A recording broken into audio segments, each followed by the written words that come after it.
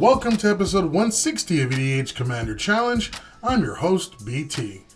As we get closer and closer to our next tournament, we're revealing the brackets in a new way this time, featuring the players who will face each other in the first round in exhibition style matches, like a calm before the storm.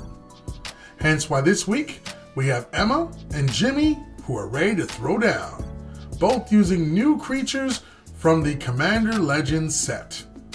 Now then, let's jump in and check out those opening hands. First, in this corner, with an opening hand of three islands Witching Well, Cancel, Compulsive Research, Prying Eyes, and his mono blue partner style commanders Ghost of Ramirez DiPietro and Glacian Powerstone Engineer, he is the unpredictable Gemi.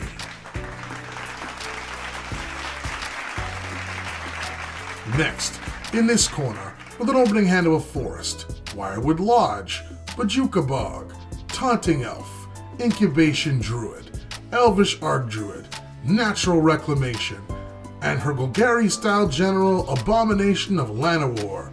She is the prodigy. This is Emma. Emma on the dice will start us off, so let's begin this new card fight.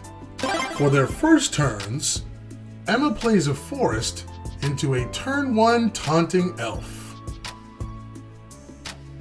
While Gemi plays an island and casts Witching Well. This lets him scry two cards, placing one card on the top and the other on the bottom. Emma plays Wirewood Lodge and casts Incubation Druid, while Gemi plays another island. Emma plays Urborg Tomb of Yawgmoth, making all lands also swamps, and casts Elvish Archdruid.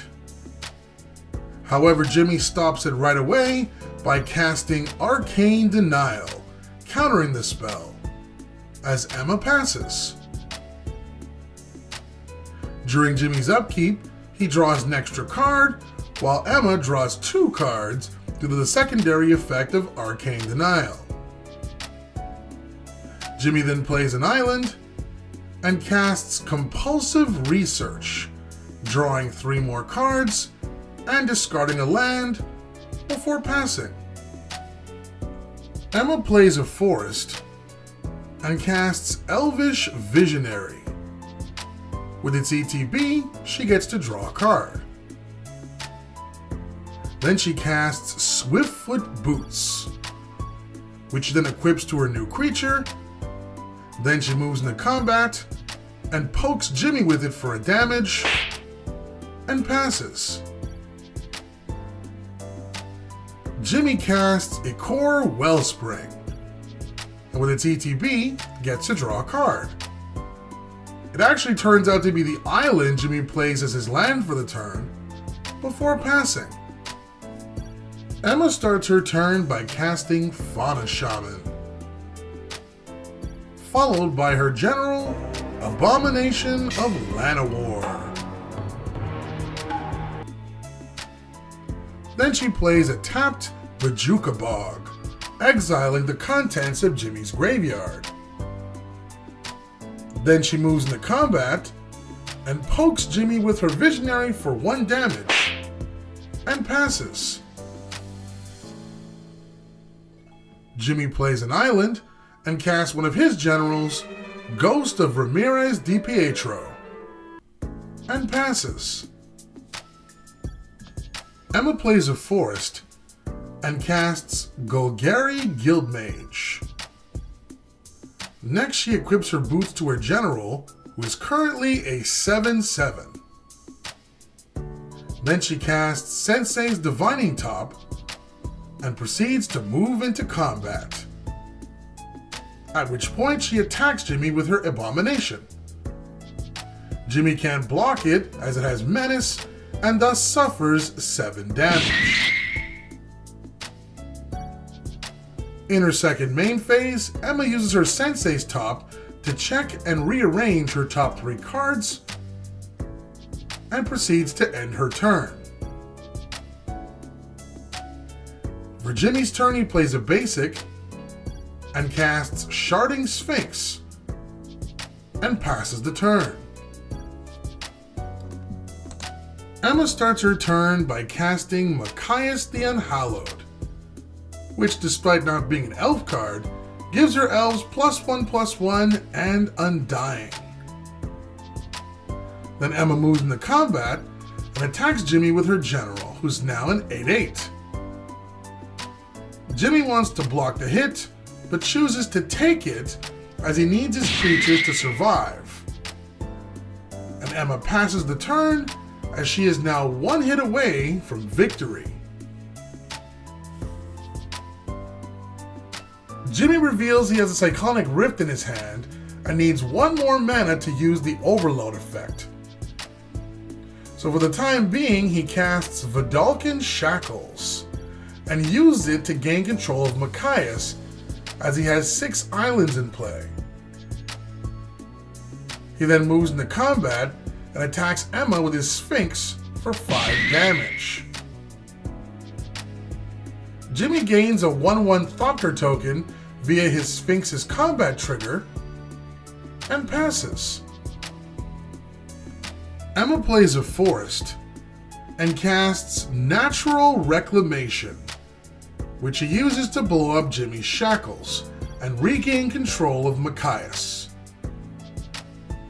With the Cascade trigger, Emma gets to cast the 4CMC Dwynen Gilt-Leaf Daen, making her elves even stronger. Emma then moves into combat, to which Gemi is ready to block her general. But Emma states, sorry it won't happen, as she attacks with both her general and taunting elf. The elf's effect forces Gemi's creatures to block it, allowing the abomination to deal lethal commander damage to Gemi as Emma takes a neat and almost complete total domination style win.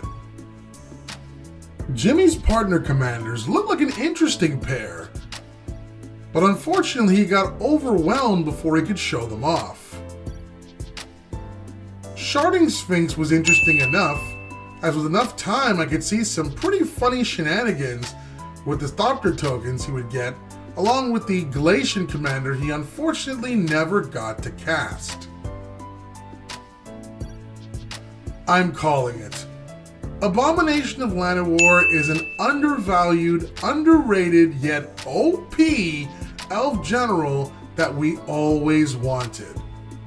First of all, the weakness of turbo tribal decks like elves and goblins is and has always been board wipe. But in this general's case, it's basically the elf version of Soulless One giving you a powerhouse creature even if you do get board wiped. Also, with access to black, imagine cards in the deck like Sheoldred Whispering One, Living Death, and Patriarch's Bidding to bring back whatever gets destroyed.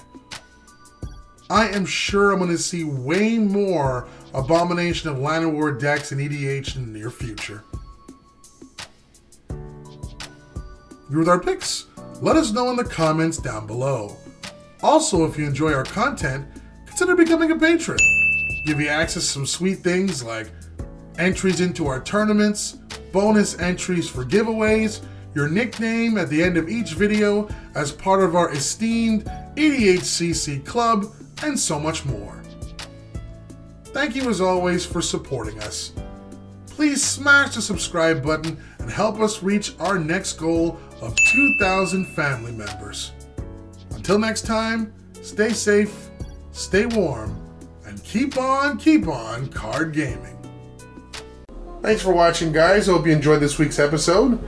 If you're a fan of EDH gameplay and you like whether it be 1v1 or multiplayer and you want to be part of the ever growing Commander Challenge family, just make sure you smash the subscribe button and notification bell down below. We do weekly videos. Don't forget as well to like, comment, share our videos, but most importantly, enjoy them.